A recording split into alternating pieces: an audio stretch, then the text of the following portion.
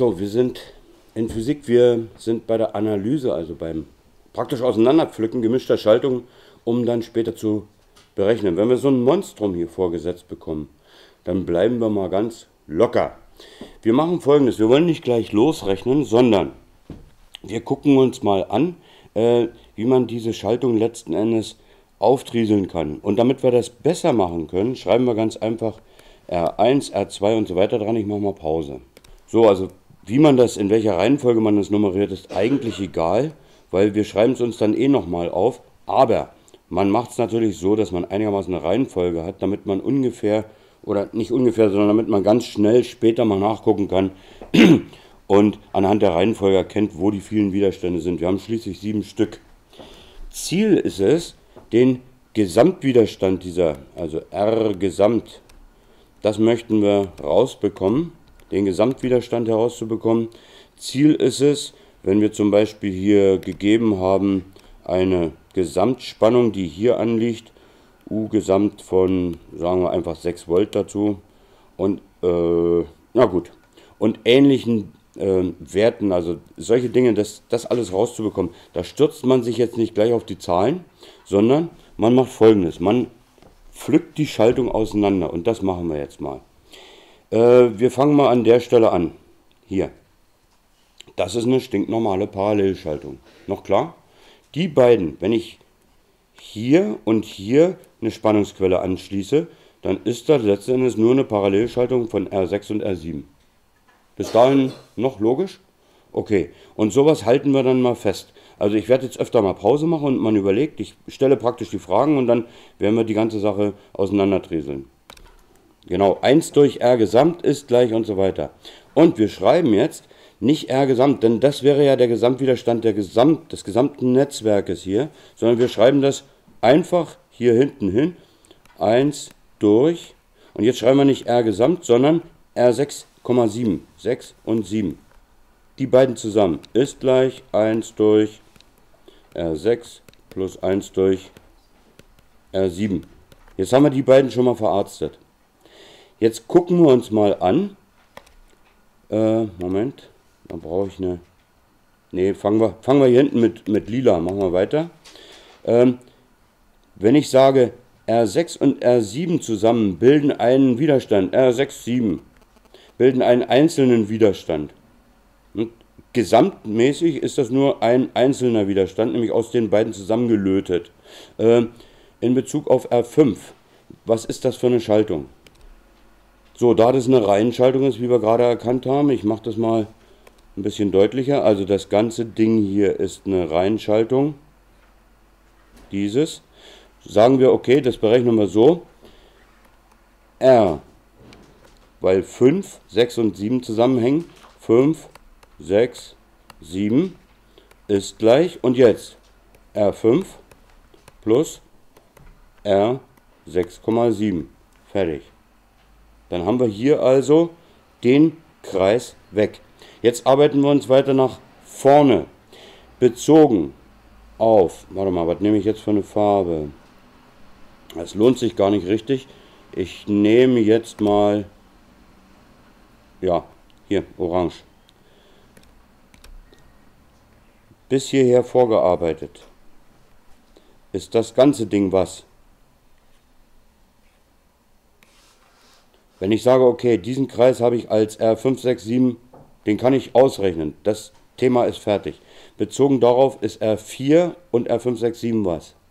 Gut, das hätten wir durch. Also, da es eine Parallelschaltung aus R4 und R567 ist, sagen wir, okay, das ist 1 durch R4, 5, 6, 7 ist gleich 1 durch R4 plus 1 durch R567. Wohlgemerkt. So, jetzt müssen wir mal R2 und 3 analysieren. Das ist ja nun wirklich leicht, das ist eine Reinschaltung, da müssen wir gar nichts zu sagen.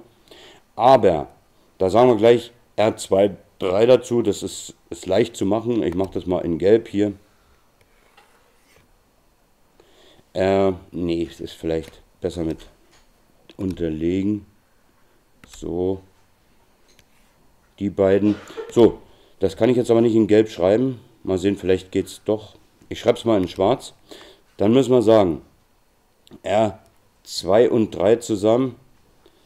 R2, 3 ist gleich R2 plus R3. Und jetzt unterlege ich das so, dann sieht man es besser. So, und jetzt geht es wieder weiter. Jetzt müssen wir uns um die Gesamtschaltung kümmern. Jetzt haben wir also praktisch R2, 3 und der Rest, die liegen wie zueinander. Ja, ich sehe schon, ich habe da eine 3 vergessen, danke. Wie liegen R2, 3 und der Rest, den wir schon haben, zueinander wieder? Und weil die Kette ja immer länger würde, schreiben wir jetzt R2 bis 7. Dann wissen wir, das ist alles drin. Das wird sonst zu lang. Ist gleich 1 durch R2, 3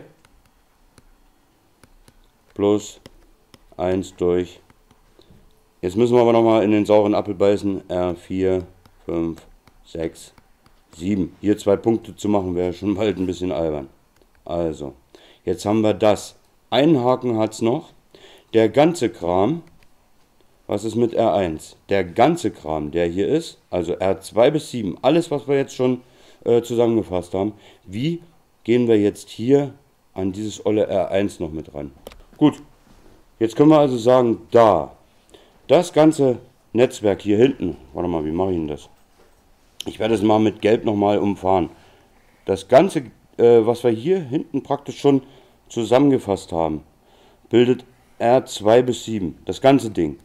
Und das liegt in Reihe zu R1. Also schreiben wir, da jetzt ja nichts mehr übrig ist, R gesamt ist gleich und dann R1 plus R2 bis 7.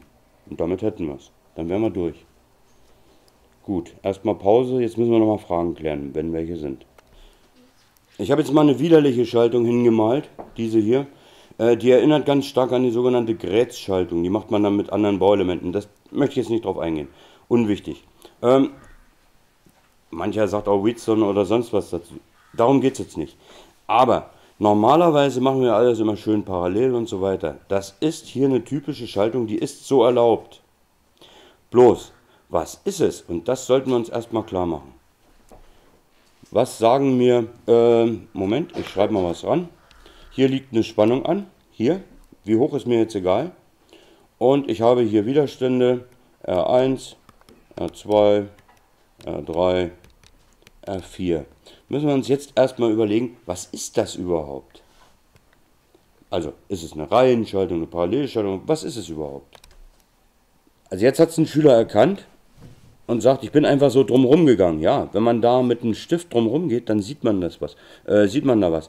Was ist denn, wenn ich das aber so mache, ganz klassisch, und ich entzerre dieses Netzwerk mal hier ein bisschen.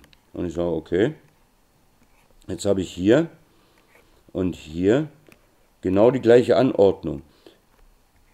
Ich mache das eben alles schick mit parallelen Linien und rechtwinklig aufeinander stehen, stehenden Leiterzügen. So, was ist denn jetzt? Jetzt sieht schon besser aus. Was ist dann das hier? Das muss R1 sein. R2, R3 und R4. Jetzt sieht schon besser aus, ne?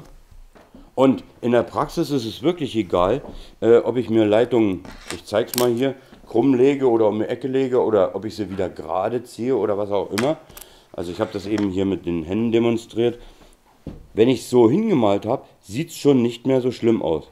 Jetzt analysiert mal das Ding und ich möchte mal R gesamt haben. Macht ihr das jetzt mal im Heft. Ähm, diese beiden Anschlüsse hier, die könnte ich natürlich jetzt hier noch reinmalen, aber das, da jetzt hier nichts angeschlossen ist, hier in der Mitte, ist das vollkommen egal, was ich hier gemacht habe.